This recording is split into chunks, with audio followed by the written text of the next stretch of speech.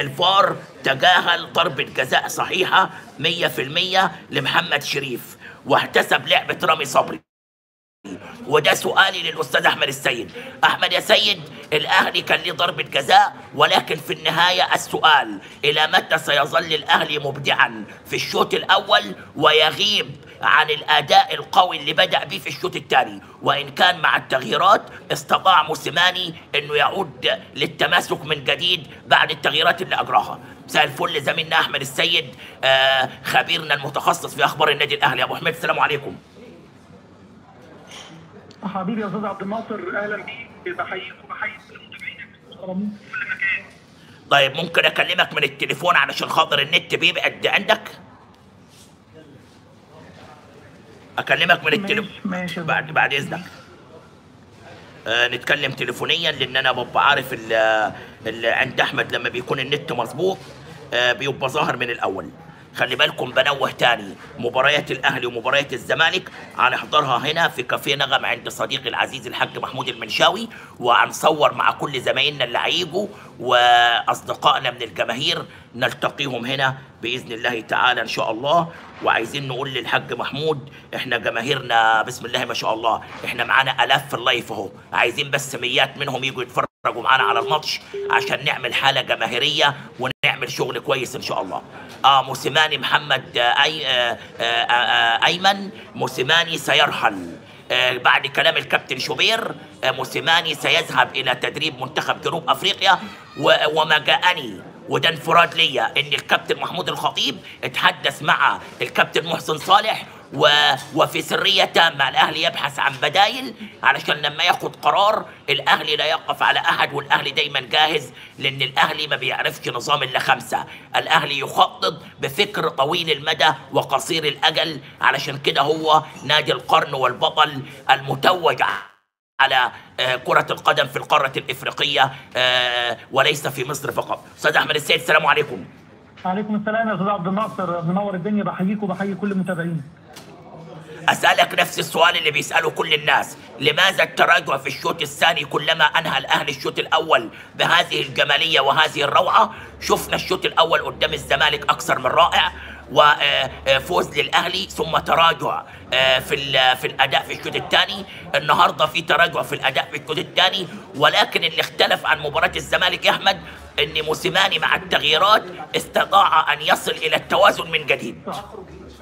أتفق معاك. يمكن المباراة النهارده كانت مختلفة بعض الشيء والدوافع مختلفة لأن بعد هزيمه النادي الأهلي من فريق سموحه أصبح النادي الأهلي داخل المباراة بتركيز شديد جدا. وده يبدو إن موسيماني كان شاحن اللعيبة بشكل كويس محضر للقاء بشكل كويس. لما اتكلم في المؤتمر الصحفي عقب لقاء النادي الأهلي وسموحة وقال كرة قفشة اللي اضاعها قفشة في بداية سموحة. لقاء سموحة كانت هتغير مجرى المباراة.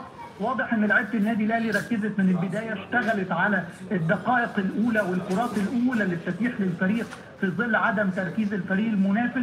ففي دقيقتين الأهلي بيجيب هدفين بيركب المباراة بدري بيتغير رتم المباراة.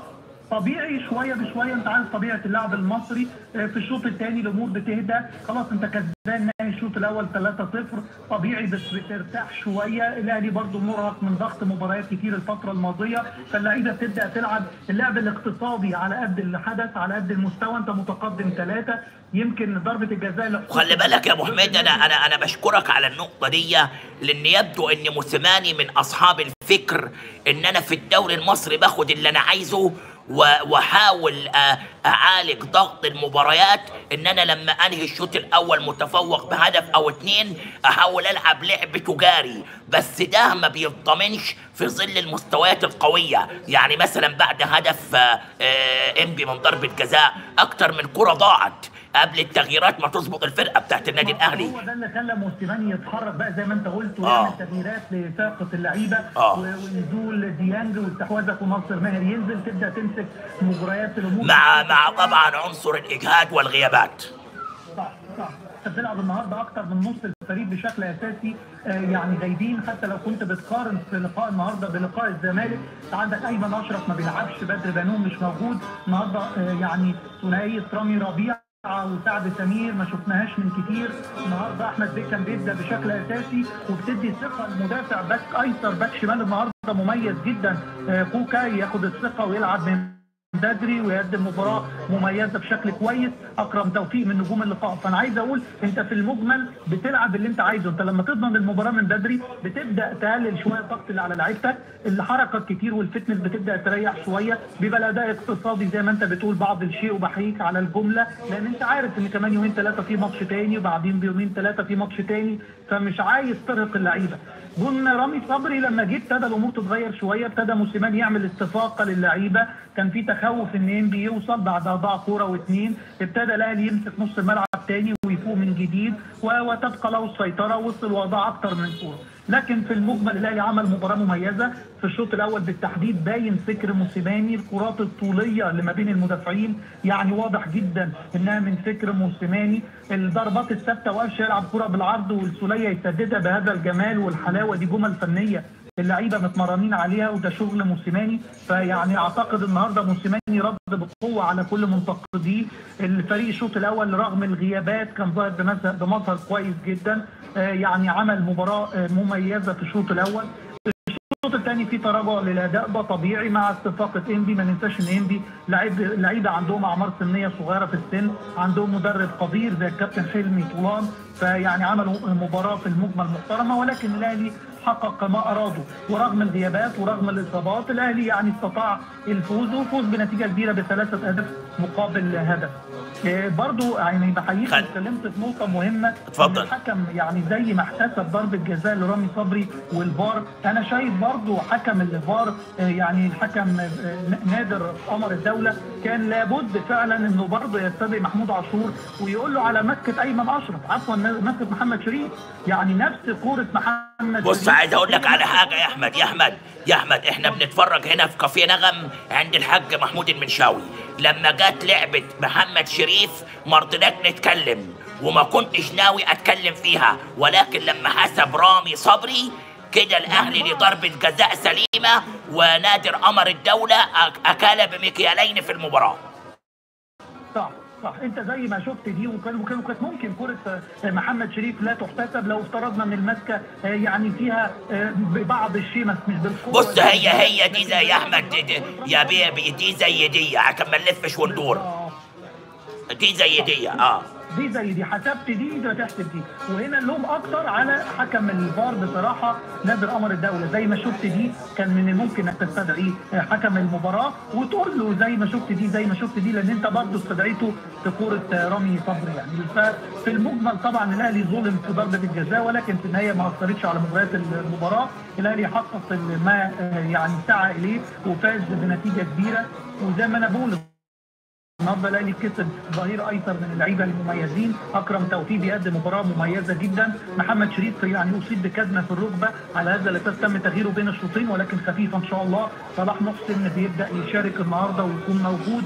آه برضه حسين الشحات يعني آه بي بي بيرجع لذاكرة التهديف. النهارده جاب كورة آه هدف مميز وصنع كمان هدف ثاني فيعني حسين الشحات بيستعيد جزء من مستواه علشان يرجع لأن النادي الأهلي محتاج اللعيبة اللي زي دي. محتاج حسين الشحات محتاج طاهر محمد طاهر محتاج كهربا محتاج أكرم توفيق محتاج البدايل واللعيبة اللي هتسد خصوصا أنت عندك ضغط مباريات كتير في ظل الغيابات والإصابات قيمة كل لاعب بقت مهمة. طيب بص أنا الآن من بعض الأصدقاء اللي بيتابعونا الأستاذ أحمد عبد الله بيقول لك صحيفة The Citizen صحيفة Citizen الجنوب أفريقية تؤكد أن الاتحاد المحلي في جنوب أفريقيا ربما يكون قد استقر على البرتغالي كارلوس كيروش كمدير فني لمنتخب جنوب أفريقيا.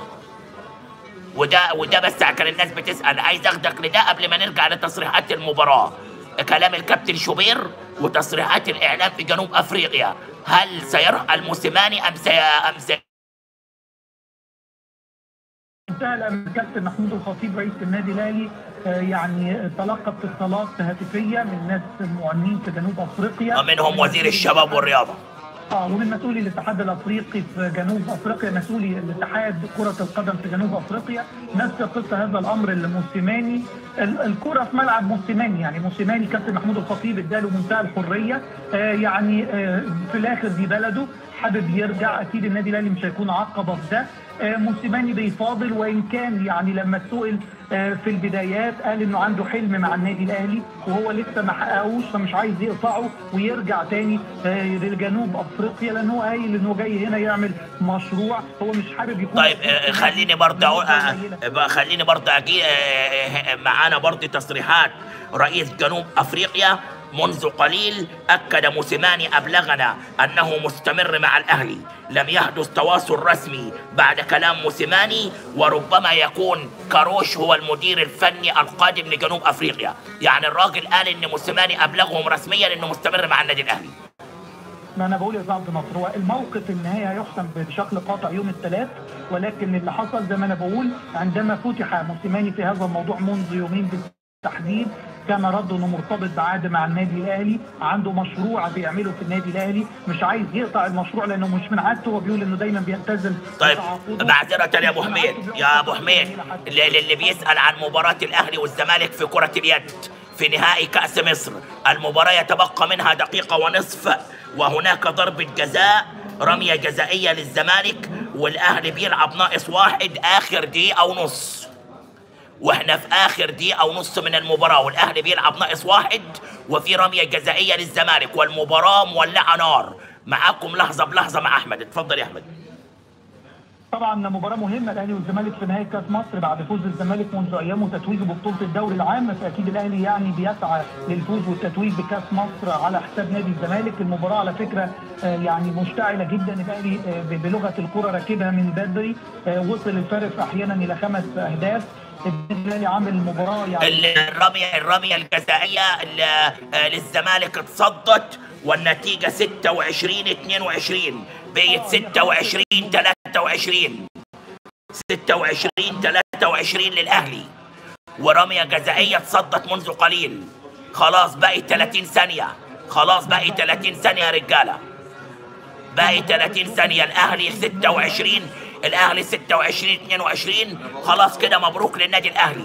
مبروك للنادي الأهلي لأنه قاعد قاعد 10 ثواني والفارق ثلاث أهداف. 26 23 والباقي 10 ثواني. 15 ثانية 10 ثواني.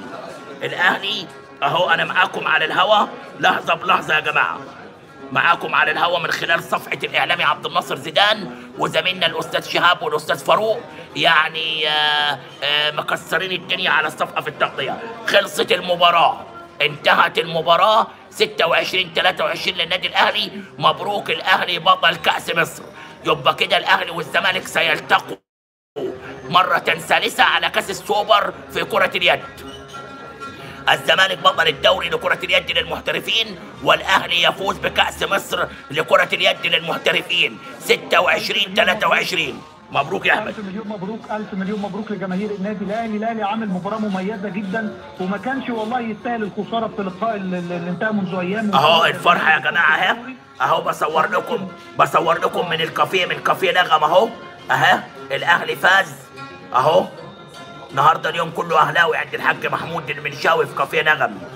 27 ده الحديث الخصم الخ- الخصم ده أنا داخل فيه لا تع... تعالوا على حساب أنت. أنت فوق دماغي.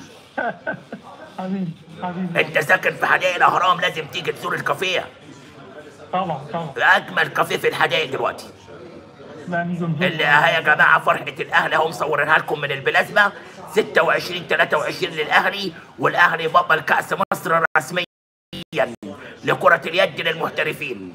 كانت مذاعه على على ON Time Sport ثلاثة. آه دي حقيقة. اتفضل. مليون مبروك لجماهير النادي الأهلي. ما هو ما ينفعش يا أستاذ عبد الناصر في عيد ميلاد النادي الأهلي ال 114 والأهلي ما يكسبش في الدوري العام وما ياخدش بطولة كأس مصر للكرة في اليد. فيعني كل الأهلاوية بيحتفلوا بعيد ميلاد الأهلي ال 114 كل سنة هم طيبين. أهو خلينا بننف... يا أحمد معذرة للمقاطعة. بننفرد بأول صور من احتفال الأهلي بالفوز على الزمالك 26 23 أهو معاكم. أهو الناس كلها بتقول لك مبروك يا أستاذ أحمد. مبروك لكل الأهلاوية المحترمين اللي بيتابعونا في كل مكان. ألف مليون مبروك. يعني كان لازم لازم في يوم زي ده الاهلي يختمه بتتويج بكاس مصر لكرة اليد و... و... والأجمل من الفوز الأداء. يعني يمكن الأهلي تفوق زي ما بقول لك وصل الفارق لخمس وست أهداف على نادي الزمالك. الأهلي عمل مباراة أعلى من اللي عملها كمان في لقاء الدوري. الأهلي يفوز ببطولة كاس مصر ألف مليون مبروك. ده غير الثلاثية اللي في إنبي. يعني الأهلي في عيد ميلاده مختلف كالعادة. الأهلي يعني دايما دايما مفرحنا. ألف مليون مبروك لكل الأهلاوية المحترمين. الأهلي رسميا بطل كأس مصر في كرة اليد للمحترفين بعد الفوز على الزمالك 26 23 في مباراة نارية تألق فيها النادي الأهلي. طيب هنرجع لليد وتصريحات اليد ولكن نرجع للتصريحات موسيماني وماذا قالوا بعد مباراة الأهلي وإنبي أبو حميد. طبعا يعني الأول زي ما إحنا اتكلمنا الأهلي عمل مباراة مميزة جدا آه، زي ما الناس احتفلت على ال social media بذكرى تأسيس الأهلي 114 الأهلي بيتوج على إنبي. يمكن موسيماني آه، برضو خلينا نوضح بعد اللقاء تحدث يعني يمكن هو بيتكلم وإحنا موجودين معاك تحدث عن إصابة محمد أشرف قال. يعني كدمة في الركبة على هذا الأساس تم تغييره. آه، قال إن إحنا عملنا مباراة مميزة في الشوط الأول بيشكر اللعيبة على الأداء. بيقول ان كان ضغط المباريات بيجبر الاهلي انه يستفيد ببعض اللعيبه. قال النهارده كان في لعيبه اساسيين كتير مش موجودين ولكن هو بيشكر اللعيبه على الاداء المميز. قال آه، آه، يعني استطعنا ان إحنا نست- نستغل الفرص من البداية فالمباراة كانت بدايتها مختلفة على عكس بعض المباريات. قال هي دي كرة القدم؟ قال انبي عمل مباراة مميزة لكن بيشكر الأهلي قال علينا إن إحنا على طول في ضغط المباريات ده نقفل ونستعد للمباراة القادمة لأن ضغط المباريات يعني هو اللي, اللي بيحرك الفريق بشكل كبير. ولكن قال اتمنى كمان الفترة اللي جاية هيستعيد العدد من اللعيبة المصابين. ياسر إبراهيم هيقدر يرجع. كمان على أول الشهر بإذن الله علي معلول وأجاي يكونوا موجودين. آه، بالمناسبة كمان الكابتن سيد عبد الحفيظ كان بينفذ عقوبة الايقاف وما كانش موجود على دكة البدلاء النهارده بسبب قرار كمان اتحاد الكورة لايقافه مباراة اليوم. طيب آه آه في أي تصريحات تانية على مباراة الأهلي وإنبي؟ يمكن الكابتن سامي قمصان كمان اتكلم على الأداء والجمل الفنيه اللي النادي الأهلي عملها من تحقيق الفوز. قال الأهلي بيستغل ال- ال- التدريبات في بعض الكرات بيتم تطبيقها وده اللي حدث في المباراة. الأهلي جاب ثلاث أهداف من جمل فنيه الأهلي اتمرن عليها. شكر اللعيبة على الأداء. اشاد كمان بعد كوكا النهارده لعب المباراة بشكل كويس. اشاد بسعد سمير واشاد كمان برامي ربيعة. النهارده الجون الأولاني كان ليه رامي ربيعة. آه، شكر اللعيبة على الأداء في ظل ضغط المباريات. الأهلي آه، يعني كل لاعب موجود في القايمة هو لاعب أساسي ويقدر يلعب المباراة بشكل مميز. آه، قال على طول هنستعد للمباراة القادمة يوم الثلاثاء أمام فريق كبير زي الفريق المصري. المباراة يوم الثلاثاء اللي جاي مؤجلة برضه من الأسبوع ال 13 آه، ملعب الجيش بالبرج العربي الإسكندرية. يعني مباراة مؤجلة من الأسبوع ال 15 يعني النهارده كانت مباراة الأهلي وانسي مؤجلة من الأسبوع ال 13 الثلاث اللي جاي مباراه مؤجله من الأسبوع ال 15 الأهلي والمصري 9 ونص في برج العرب بإذن الله. طيب نروح لليد يا أحمد. هل في أي تصريحات قبل ما أختم معاك؟ لسه يعني لسه اليد الاحتفالات موجودة ومكملة وعلى ال social media يعني يمكن كل الأهلاوية سعداء ومبسوطين بهذا التتويج. آه، في ذكرى يعني عيد ميلاد النادي الأهلي آه، يعني حاجة محترمة جدا جدا. هنا كل السعادة يعني يعني كل الناس كتبت الف مبروك للنادي الأهلي التتويج لكره كاس مصر لكره اليد. آه، مبروك للجهاز الفني واللاعبين. آه، كل الناس سعيدة وفرحانة. آه، يعني اعتقد أعتقد النهارده فوز الأهلي بكأس مصر على يد نادي الزمالك هو رد بمنتهى الاحترام والأدب على عنوان مجلة نادي الزمالك اللي, اهان قيمة الصحافة المصرية من وجهة نظري لما يكون موجود الكابتن محمود بيبو الكابتن محمود الخطيب حبيب الملايين ويكون موجود بضحكه وابتسامة يسلم درع بطوله الدوري العام للأحمر آه، كابتن نادي الزمالك ويتقال يعني آه، كوماندو الزمالك تسقط يد بيبو. أعتقد كان من الأولى إن إحنا نعلي قيمة الاحترام إن كابتن بيبو بروح رياضية بيسلم الدرع. فسبحان الله دايما الرفض بيجي على طول في الملعب.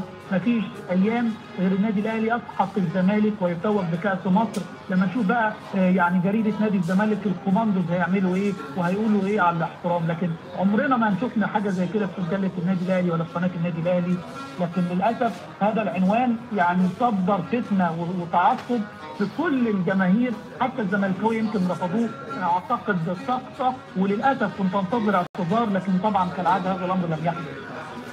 أشكرك. شكرا جزيلا يا أستاذ أحمد. شكرا جزيلا أستاذ عبد الناصر ومليون مبروك لكل الأهلاوية وعيد ميلاد سعيد لكل الأهلاوية.